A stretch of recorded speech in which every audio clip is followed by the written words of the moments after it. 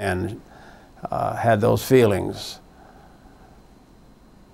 He um, once uh, said when he was getting ready for uh, a taping with uh, Walter Cronkite, and he was getting dressed, and he told us, you know, I'm as nervous as I've ever been in my life.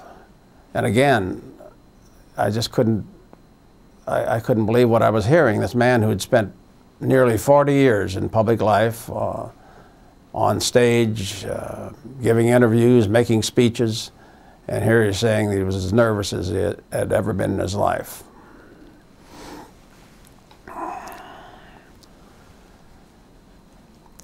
People sometimes ask me if I exercised any great influence over President Johnson.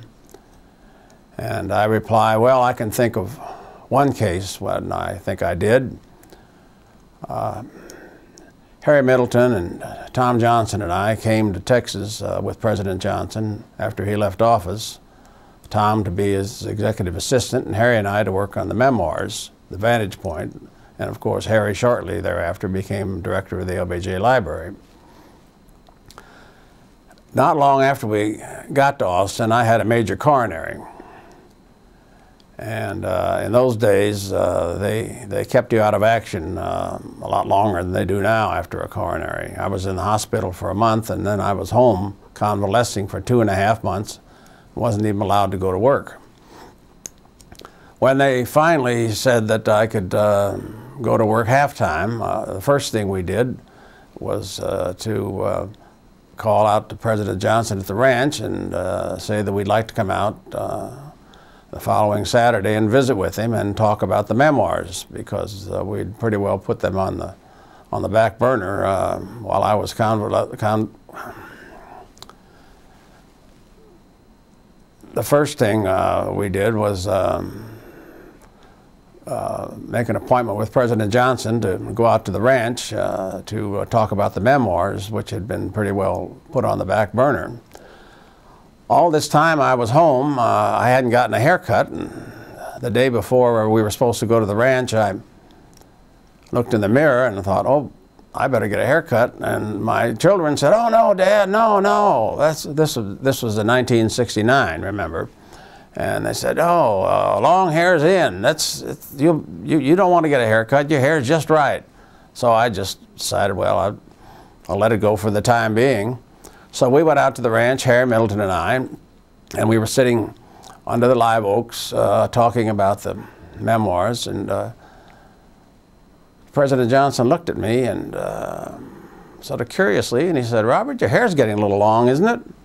And uh, just sort of as an offhand remark, I said, well, Mr. President, that's so you won't confuse me with those short-haired bastards in the Nixon White House. And he looked at me and frowned and said, short-haired bastards? And I said, yeah, you know, Ehrlichman, Haldeman, Ziegler, uh, all those people in the Nixon White House.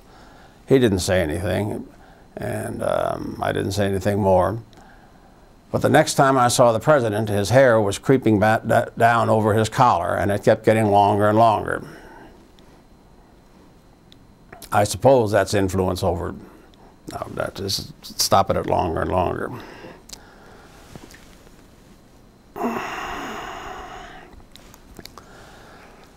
LBJ was a great tease. Uh, shortly after I went to work for him in the White House, uh, he invited some of his uh, aides to come have lunch with him in the family dining room. And I was fortunate enough to be included in that group seven or eight people.